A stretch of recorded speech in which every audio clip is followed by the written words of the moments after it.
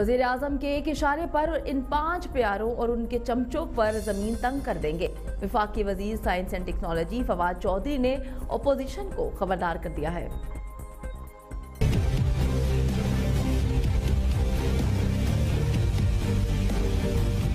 اسلام آباد میں دھرنا دینے والوں کے خلاف دھرنا جاری ہے اور مولانا فضل الرحمان نے وزیر اعظم کو دو روز میں مستعفی ہونے کا وقت دیا ہے۔ عمران خان وزارت عظمہ کی کرسی چھوڑتے ہیں یا نہیں، یہ تو آنے والا وقت بتائے گا، لیکن مولانا کے اس مطالبے نے کھلاڑیوں کے تن بدن میں آگ لگا دی۔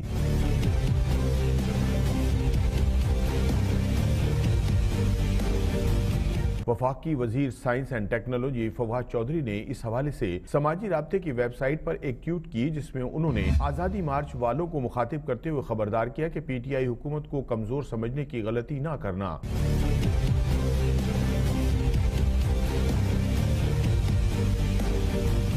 وفاقی وزیر کا کہنا تھا کہ ہم اس لیے تحمل کا مظاہرہ کرتے ہیں کہ عمران خان نے یہی ہدایت کی ہے، ورنہ ایک اشارے پر ان پانچ پیاروں اور ان کے چمچوں پر زمین تنگ کر دیں۔ انہیں کہیں چھپنے کی جگہ نہیں ملے گی۔